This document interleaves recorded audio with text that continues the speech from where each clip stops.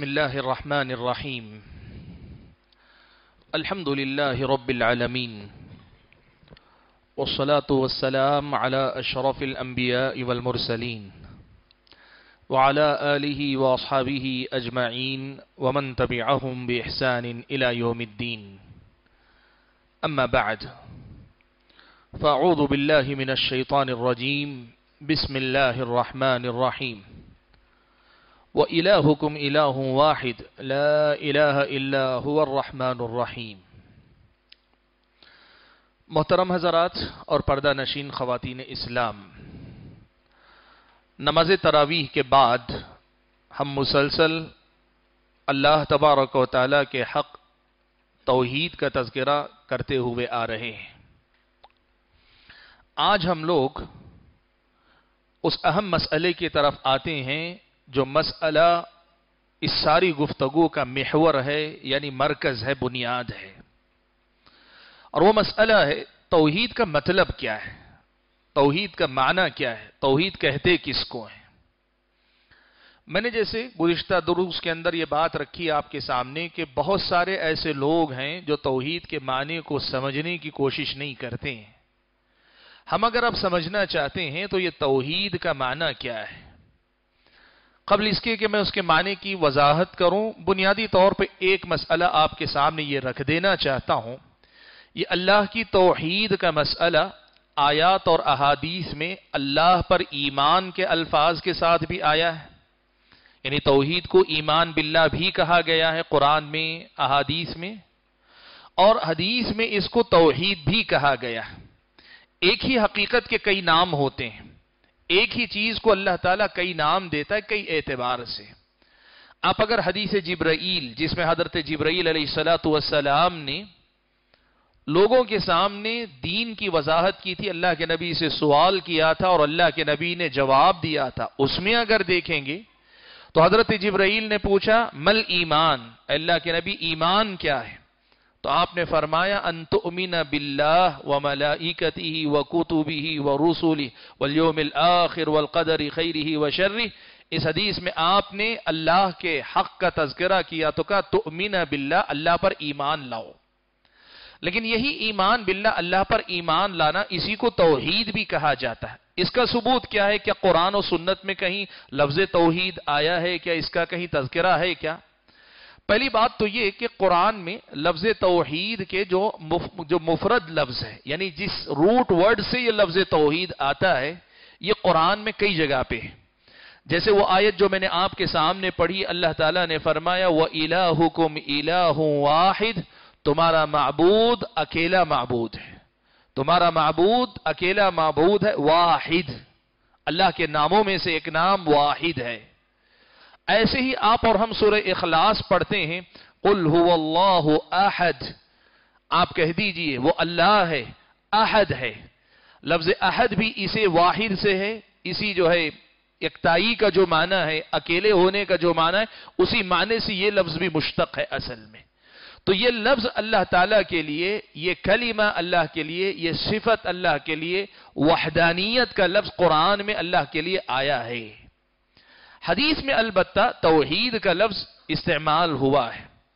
ابھی پچھلے دنوں میں نے آپ کے سامنے وہ حدیث ذکر کی تھی کہ حضرت ابن عباس رضی اللہ تعالیٰ عنہ روایت فرماتے ہیں کہ اللہ کے نبی نے جب حضرت معاذ ابن جبل کو یمن کی طرف بھیجا تو آپ صلی اللہ علیہ وسلم نے ان کو یہ بات بتائی، یہ حکم دیا کہ سب سے پہلے تم دعوت دو گے تو توحید کی دعوت دو گے اکثر کتابوں میں یہ روایت ان الفاظ کے آئی کے ساتھ آئی ہے انکا تأتی قوما اہل کتاب فلیکن اول ما تدعوهم الیہ شہادت ان لا الہ الا اللہ وان محمد الرسول اللہ یا وانی رسول اللہ ان الفاظ کے ساتھ آئی لیکن صحیح بخاری اور بیحقی کے پاس السنن القبرہ امام بیحقی کی کتاب ہے۔ ان دو کتابوں میں یہ حدیث اور ان کے علاوہ بھی دیگر کتابوں میں ہیں۔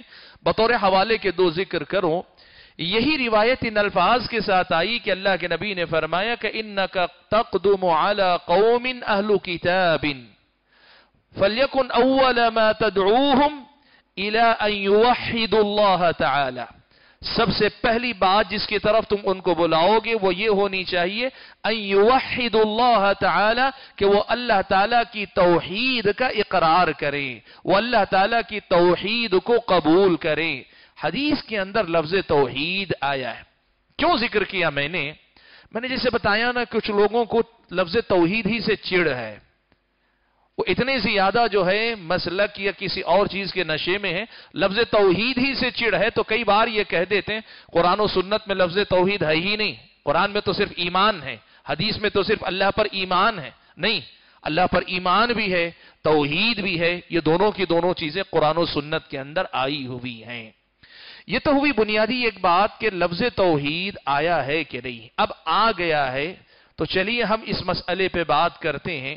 کہ اللہ کے نبی نے جو پہلی حدیث جس سے پہلے دن میں نے در شروع کیا، حق اللہ علی العباد کہا، اللہ کا حق کہا۔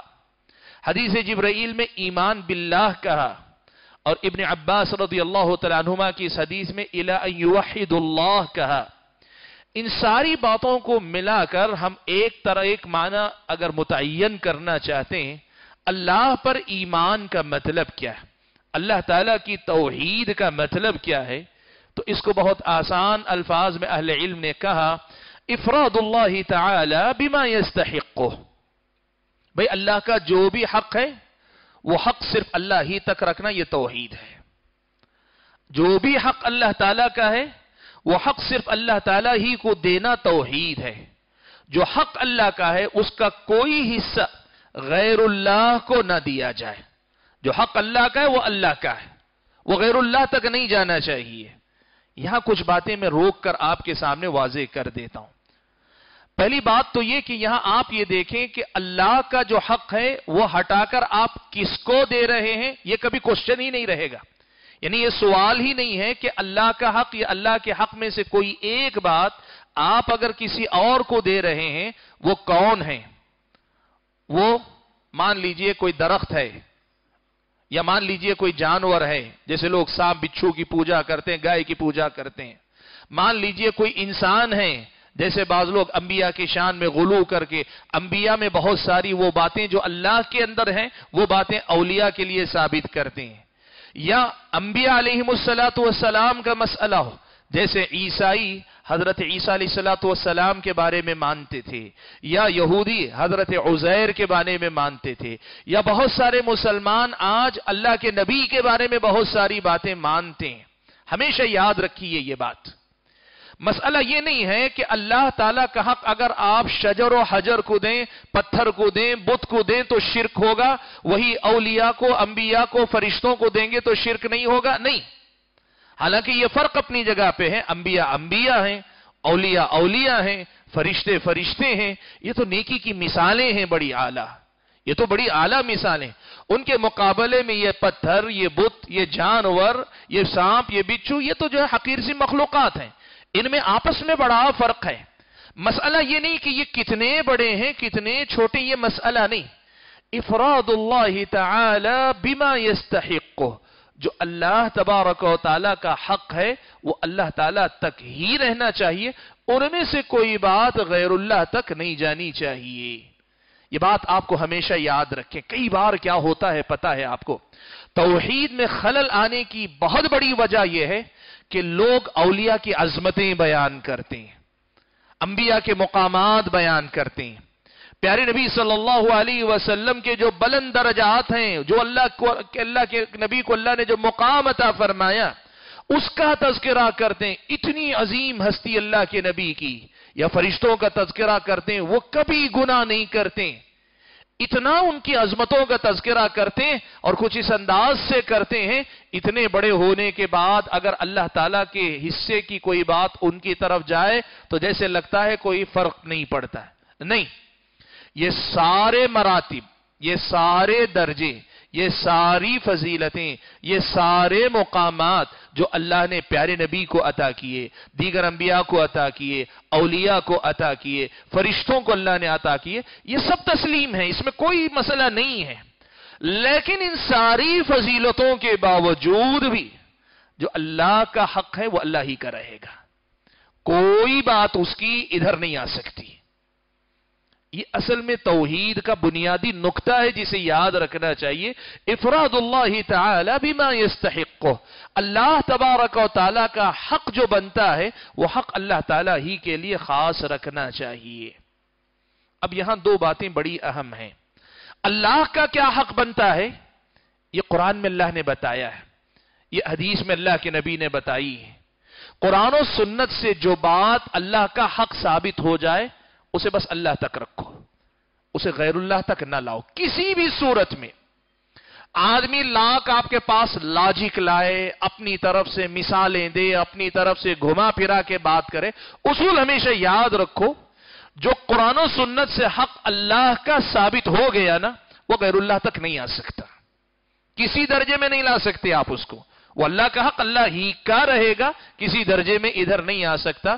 یہ اصل میں توحید کا بنیادی مسئلہ ہے کہ اللہ کا جو حق ہے وہ اللہ کا رہے گا، وہ غیر اللہ تک نہیں آئے گا۔ غیر اللہ ولی ہو سکتے ہیں، نبی ہو سکتے ہیں، فرشتے ہو سکتے ہیں، یا یہ کہ دنیا کی دیگر مخلوقات ہو سکتی ہیں، کوئی طاقتور ہو سکتا ہے، کوئی بڑا باکمال، کچھ بھی ہو سکتا ہے۔ لیکن یہ فرق ہمیشہ یاد رکھیں، یہ سارے کے سارے اللہ کی مخلوق ہیں۔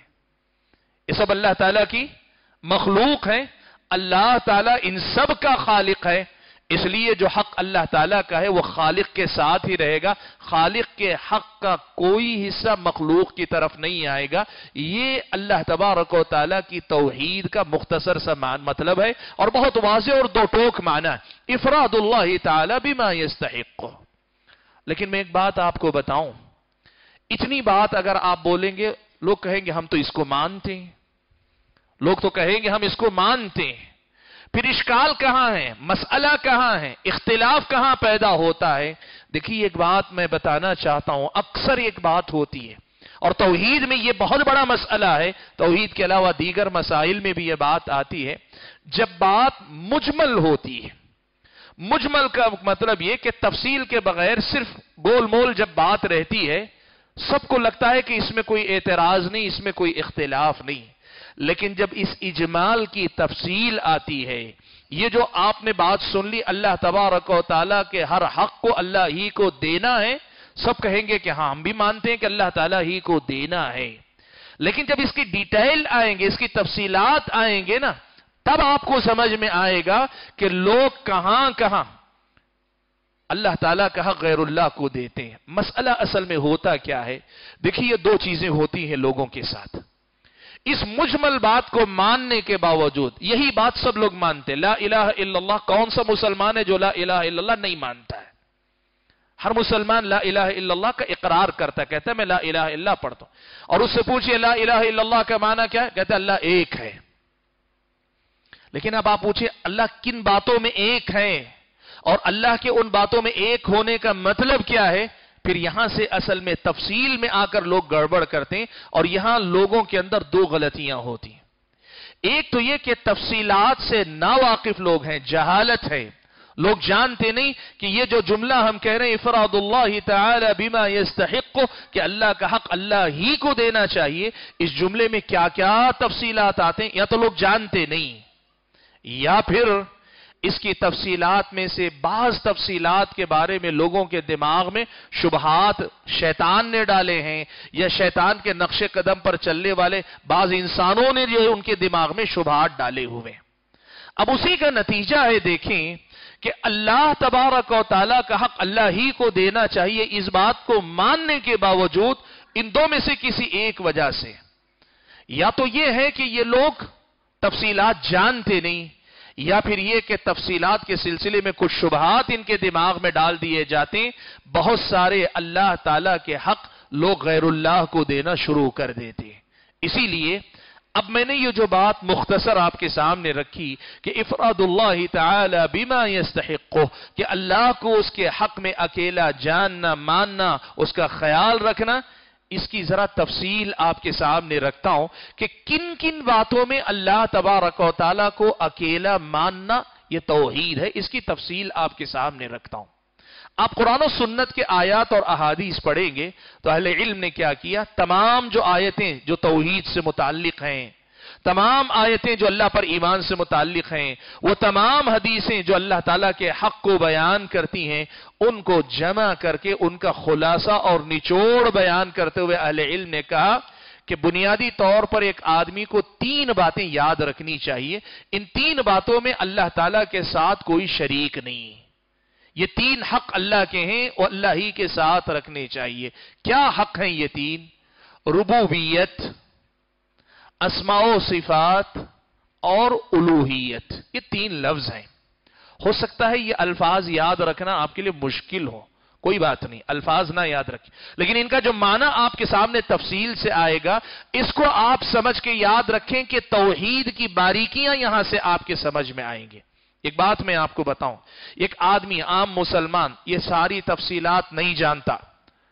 لیکن وہ توحید پر ہے۔ جیسے ایک عام سیدھا سادہ مسلمان کسی شرک کی قسم میں مبتلا نہیں، وہ موٹی بات جانتا ہے، میں اللہ تعالیٰ کو ایک مانتا ہوں، ایمان لا کر عبادت صرف اللہ کی کرتا ہوا جا رہا ہے، اس کا ایمان پورا ہے۔ اس کا ایمان پورا ہے۔ لیکن جہاں لوگوں کے ایمان میں خلل آ رہا ہے نا، یا لوگ جہاں توحید کی تفصیل سمجھنا چاہتے ہیں، وہاں یہ باتیں آپ کو اچھے سے سمجھنی چاہیے۔ تین باتیں میں نے کہی۔ ربوبیت اسماء و صفات اور الوحیت۔ یہ تین الفاظ ہیں اور حقیقت میں تین سبجیکٹ ہیں یہ۔ یہ تین جو ہے موضوع ہیں۔ میں ان کی وضاحت آپ کے سامنے ایک ایک کر کے کرتا ہوں۔ سب سے پہلی چیز آتی ہے توحید ربوبیت۔ اللہ کو اپنی ربوبیت میں اکیلا ماننا۔ یعنی اللہ تبارک و تعالی رب کی حیثیت سے جو کچھ کرتا ہے، وہ سب کرنے میں وہ اکیلا ہے، یہ بات ماننا۔ بحیثیت رب اللہ تعالیٰ نے جو کچھ کیا ہے، کر رہا ہے، کرے گا۔ یہ ساری باتیں صرف اللہ تعالیٰ ہی کرے گا، اللہ ہی کا ہے۔ کوئی اور اس میں کسی قسم کا ساجھے دار نہیں، حصے دار نہیں، اس کو ماننا پڑے گا۔ رب کی حیثیت سے۔ رب کا معنی کیا ہوتا ہے؟ پالن ہار، ہم اردو میں کہتے ہیں۔ پالن ہار یعنی پالنے والا۔ لیکن اس لفظ کا ترجمہ اصل میں ہمیشہ یاد رکھیں، عربی الفاظ کا جب اردو میں ٹرانسلیشن ہوتا ہے نا، کبھی بھی عربی الفاظ کا ہنڈریڈ پرسینٹ ترجمہ اردو میں ہو ہی نہیں سکتا ہے۔ اب اس میں کیا کرتے ہیں؟ اس لفظ کے کئی جو معنی ہوتے ہیں، اس میں سے کوئی ایک معنی اردو میں آپ کو دے دیتے ہیں۔ عربی زبان میں جو لفظ رب میں معنی ہے اردو میں ایسا کوئی لفظ نہیں ہے جو اس کے پورے معنی کو ادا کر دے۔ ایک لفظ رب میں جو معنی ہے، ایسا ایگزیکٹ معنی ادا کرنے والا کوئی لفظ اردو زبان میں نہیں۔ نتیجہ کیا ہوتا ہے؟ رب کے جو کئی معنی ہیں، ان میں سے کوئی ایک معنی لے کر ترجمہ کر دیتے تاکہ معنی قریب قریب لوگوں کی سمجھ میں آ جائے۔ میں آج آپ کے سامنے یہ بات رکھنا چاہتا ہوں کہ آپ دیکھیں، رب کی حیثیت سے اللہ کے کرنے کے جتنے کام ہیں ان تمام کاموں کو صرف اللہ کے ساتھ خاص رکھنا، کسی اور کو اس میں شریک نہیں کرنا، یہ توحید ربوبیت ہے، یا ربوبیت میں توحید ہے، یا اللہ تعالی کے حقوق میں سے پہلا بنیادی حق اللہ کو دینا ہے۔ اب پھر بات آتی ہے، ابھی بھی واضح نہیں ہے بات۔ بحیثیت رب اللہ کے کرنے کے کام کیا ہے بحیثیت رب اللہ کیا کیا کام کرتا ہے؟ اہل علم نے یہاں کہا تین بنیادی الفاظ آپ یاد رکھیں۔ یہ تین الفاظ اور اس میں آنے والی تفصیلات آپ اللہ ہی کے ساتھ خاص رکھیں گے۔ آپ نے صرف اللہ ہی کو رب مانا یا ربوبیت میں توحید کے آپ قائل ہو گئے۔ کیا تین باتیں ہیں؟ ایک ہے تخلیق، دوسری ہے ملکیت، اور تیسری چیز ہے کائنات اور دنیا کی تدبیر۔ میں اس کی تفصیل کرتا ہوں آپ کے سامنے۔ سب سے پہلے لفظ ہے تخلیق۔ اللہ تعالی کا بحیثیت رب جو کام ہے ان میں سب سے بنیادی کام ہے پیدا کرنا۔ اللہ پر ایمان کا، اللہ کی توحید کا مطلب یہ ہے کہ ہمارا ایمان یہ ہونا چاہیے کہ کائنات میں، دنیا میں جو کچھ ہے اللہ کے علاوہ جو کچھ ہے یہ سب اللہ نے پیدا کیا اور صرف اللہ نے پیدا کیا۔ اللہ نے پیدا کیا، صرف اللہ نے پیدا کیا۔ آپ یہ سمجھ لیں پہلی بات۔ اللہ کے علاوہ جو بھی دنیا کے اندر مخلوقات ہے جنت ہے، جہنم ہے، آسمان ہے، زمین ہے، یہ جو انسان ہے، چرند و پرند ہے، یہ سمندر، یہ پہاڑ، یہ ہوائیں، یہ کھیتیاں، یہ بارشیں، یہ دنیا کی جو مخلوق آپ دیکھ لیں، تمام کو پیدا کرنے والا اللہ ہے اور صرف اللہ تبارک و تعالی۔ اللہ تعالی کے علاوہ کوئی اس پیدا کرنے کے معاملے میں کسی قسم کا کوئی حصے دار نہیں۔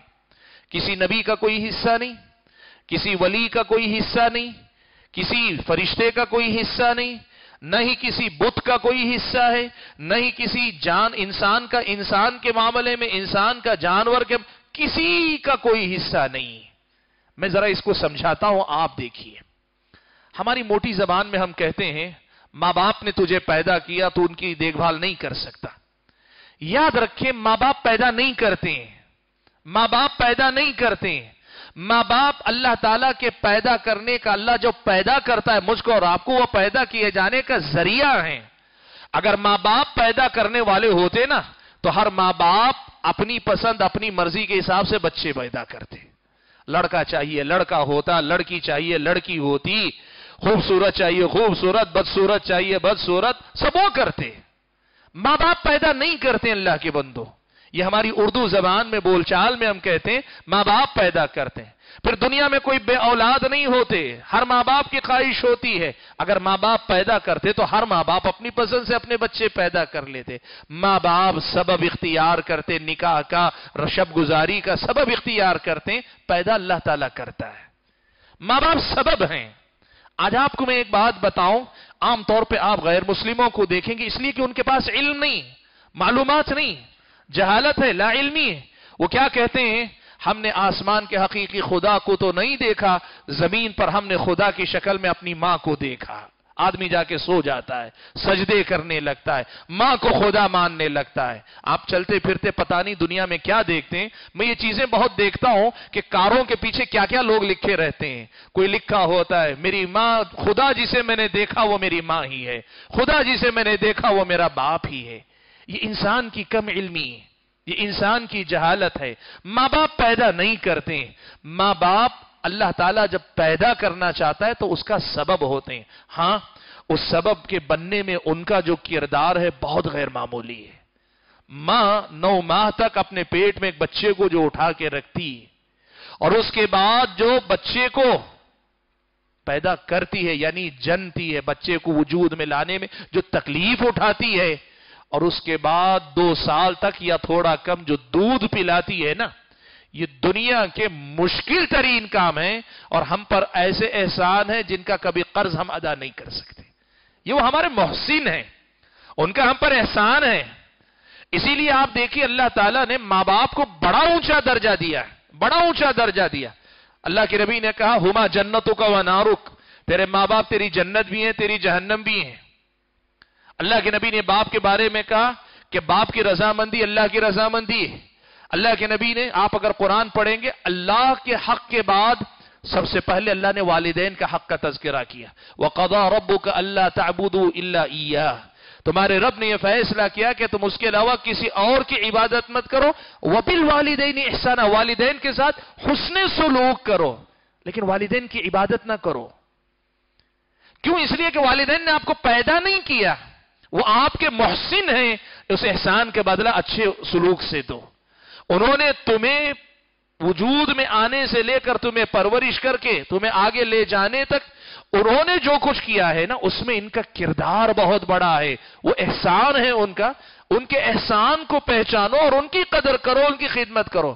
لیکن ماں باپ پیدا نہیں کرتے، اسی لیے اللہ تعالی کا جو حق ہے، ان میں سے کوئی حق ماں باپ کو نہیں دیا جانا چاہیے۔ یہ بات آپ یاد رکھیں۔ ہم یہ کہتے نا کہ ماں باپ کے سامنے جا کے سجدے کرنا یا ماں باپ کے سامنے جا کر یہ ماننا کہ ماں باپ ہی سب کچھ ہیں اس معنی میں کہ انہوں نے ہی مجھے پیدا کیا، یہ نہیں ہے۔ پیدا کرنے والا اللہ تعالیٰ ہے۔ ہاں یہ ہمارے دنیا کے سب سے بڑے محسن ہیں۔ اور ایسے محسن کہ مرنے کے بعد بھی ہم ان کا حق ادا کرنے کے مکلف ہیں، ادا کرتے رہے کرتے رہے پھر بھی ہم سے حق ان کا ادا نہیں ہو سکے گا۔ یہ الگ مسئلہ۔ دیکھیے، یاد رکھیے۔ میں نے کہا تخلیق میں کسی بھی چیز کو پیدا کرنے والا کون ہے؟ صرف اللہ تعالیٰ ہے۔ ہر چیز کا خالق۔ اچھائی کا، برائی کا، اچھی چیز کا، بری چیز کا۔ بری چیز بھی اللہ نے ہی پیدا کی۔ کیوں پیدا کی؟ یہ دنیا امتحان کی جگہ ہے۔ سب اچھا ہو تو امتحان کیا ہوگا؟ سب خیر ہی خیر ہو تو پھر آزمائش کس بات کی ہوگی؟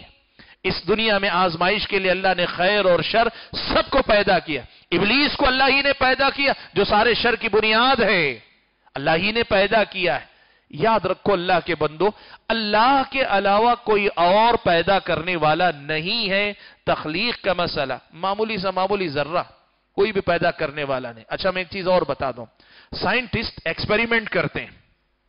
ایکسپیریمنٹ کرتے ہیں۔ تو کیا کہیں گے؟ سائنٹسٹوں نے پیدا کیا۔ اب آج کی دنیا میں نئے زمانے میں وائرس کا بڑا ہے۔ سائنسدانوں نے یہ وائرس پیدا کیا۔ نہیں، کوئی پیدا نہیں کرتا ہے۔ وہ ایکسپیریمنٹ کرتے ہیں، ان کا ایکسپیریمنٹ سکسسفل ہوگا، نہیں ہوگا، اسے پیدا کرنا، نہ کرنے کا فیصلہ اللہ تعالیٰ کا ہے۔ وہ جو بات آپ سمجھ رہے ہیں، ماں باپ والی مثال، وہ صرف ماں باپ کی حد تک نہ رکھے۔ دنیا کے ہر مسئلے میں آپ دیکھ لیں۔ آپ ایک کام کرتے ہیں، میں کچھ بنانے کی کوشش کرتا ہوں، وہ بن جاتا ہے۔ میں بنانے والا نہیں، میں پیدا کرنے والا نہیں ہوں اس کا۔ میں نے تو ایکسپیریمنٹ کیا، میں تو اسباب اختیار کیا اللہ کی کائنات ہی کی چیزیں لے کر میں کوشش کرتا ہوں، دو چیزوں کو ملا کے تیسری ایک چیز بنانے میں کامیاب۔ میں پیدا نہیں کر رہا ہوں اس کو، پیدا کون کر رہا ہے؟